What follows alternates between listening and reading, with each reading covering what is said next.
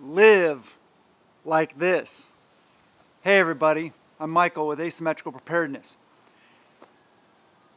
We know there's a lot going on in this world today, a lot to get you down, a lot to drag you into the doldrums, to really affect our mental state. We got to rise above that. How's one way we can do it? Self sufficiency. That's the key. Being as outside of the system as possible. Frugality, upcycling, recycling, MacGyvering is what I call it, or rednecking stuff. Not throwing away stuff just because it has a hole in it, mending it, repairing it, like our ancestors used to do. That's what they used to do. My grandmother, Ziploc bags, um, bread bags, any plastic bag like that, she would wash them and reuse them. They wasn't like they were super poor or anything like that. You know, they were they weren't rich. But my mom does the same thing. And she's doing pretty well. We get a, you get a hole in your pants. You throw them away. Hole in your socks. Nobody knows how to darn socks anymore, right? A lot of these little things we don't have to get rid of. You know, the, uh, the rubber edge around your shoe starts to come off. That's what shoe goo is for. Does it last forever? No.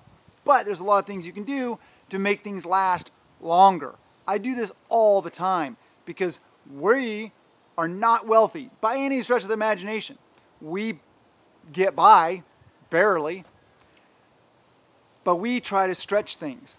I try to sacrifice, make sacrifices so that my children and my wife and we can have things that we need.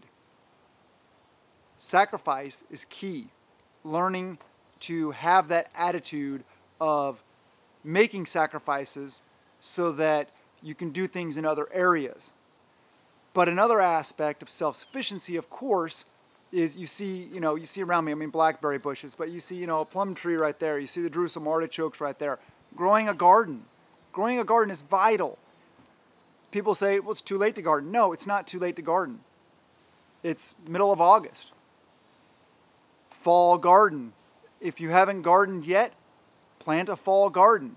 If you are gardening, you probably already know what crops to plant when, stuff like that. I'm still figuring a lot of that out. I'm not a master gardener. I grow a pretty decent garden, but my neighbor across over there, she has the greenest thumb I've ever ever seen. she grows up and they got they put a lot more money into their setup. I redneck raised beds. I build them out of logs. I build them out of reclaimed lumber. I build them out of a dining room table. I build them out of, you know, leftover metal roofing from our roof that I found behind the shed. I make it out of you know all kinds of stuff. Some lumber, um, a, uh, this uh, wine like uh, stand thing that we that we got free from yard sale site or something like that. Tore it apart, rebuilt it into raised beds. Doesn't have to cost a lot of money. Uh, or you can do in-ground gardening. I prefer raised beds just because um, that's what I prefer. But growing as many of your own calories as possible, raising your own animals, having chickens, having ducks, whatever it is you prefer, um, goats, sheep, uh, cows, if you want. If you got the land, a lot of people don't. But even if like you're living in an apartment or something like that, depending on the rules, regulations, and stuff like that, um, and if you eat them, also people have different dietary constraints. Some people don't eat um, animals with paws, and that's cool. You know, we all have free will. That's great. Um, but you can raise rabbits, like meat rabbits um, inside your house. You don't have to have a bunch of property and stuff like that, like for cows or horses or anything else like that. Not that I'm going to eat a horse. Maybe I would. I would if I had to. But um, yeah, it's about making use of what we have. Um, multi-purposing items. Um, whenever you buy an item, um, and I like thrift stores. I love thrift stores. I always look through thrift stores, the fine-tooth comb, to find to see, hey, what can I find that has multiple uses for something that I need or might need in the future. We have to think ahead. We're proactive, not reactive as, as preppers, because we understand that prepping is living insurance. Um, it's not an end all be all. Just because we prep doesn't mean we'll live, doesn't mean we'll survive. A lot of us will die. Doesn't matter how well prepared we are. You know, Murphy's Law. What can go wrong will go wrong. But the more we prepare, the more we set aside food, water, the more we grow our own food, raise our own animals, repurpose our items, make things last as much as possible.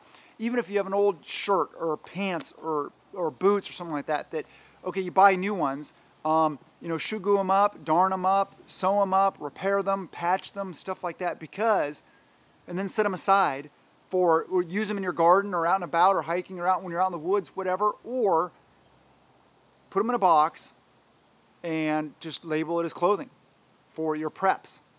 That way you have extra clothing. And another nice thing about that is if it's all like darned up, patched up, stuff like that, it looks like you're going through hard times, right?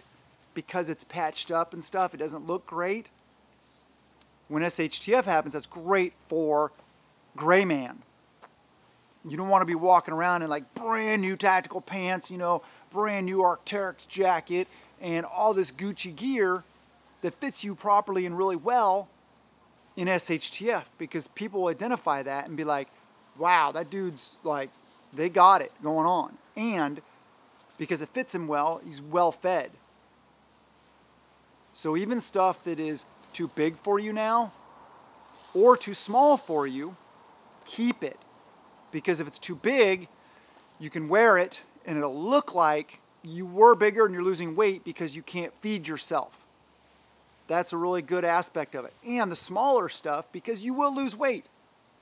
So then you can probably fit into those. Well, hopefully you won't lose weight. Hopefully you'll be thriving in an SHTF scenario. But that's probably not going to be the case. We probably will be losing weight because first off, we'll be more active. We'll have to do more.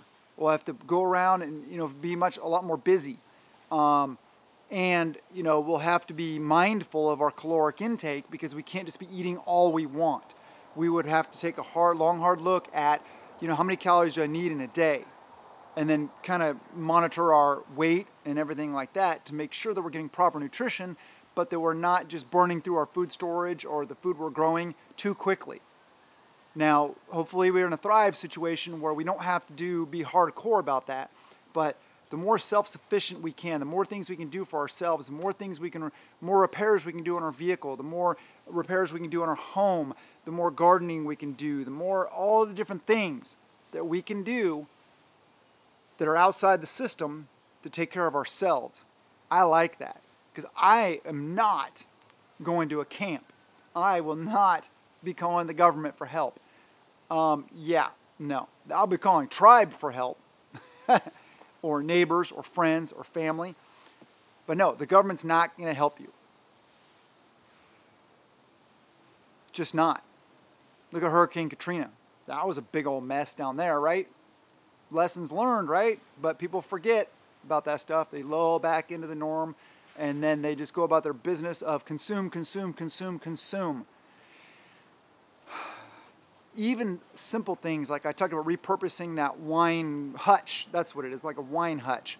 Um, it was really nice wood. I uh, repurposed the top of it from some raised beds, built a bench out of the other part, and it became like a workbench. Awesome. I took out some of the shelves, used those for different things. But anything that you're getting rid of, like that, like furniture or whatever, pull all the screws, the nuts, the bolts, the um, all that kind of stuff off of it that you can, the hinges, any part or piece that you think you might need, throw it in a box. I call it like the man box because it's like by doing man things around here, I find stuff all the time. If I need a screw, a nut, a bolt, whatever, uh, hinges, like I said, I just go to that box, I dig through it, and I find what I need, and I repurpose it, and I use it for a lot of different things. It saves a bunch of money and makes it a lot easier. But anyway, I hope you guys liked the video. Please subscribe, hit that thumbs up, share the videos, comment below. Have a wonderful day and blessings to you and yours.